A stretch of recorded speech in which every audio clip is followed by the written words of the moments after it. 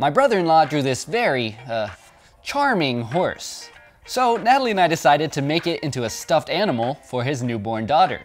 First we enlarged the sketch, then cut it out of fabric, and Nat worked her magic. She made this fun mane and embroidered the eyes to get that doodly look. Then we stuffed all the parts with strips of scrap fabric, sewed it up, and here's the masterpiece. I love how floppy it is, and more importantly, Vera seems to like it too.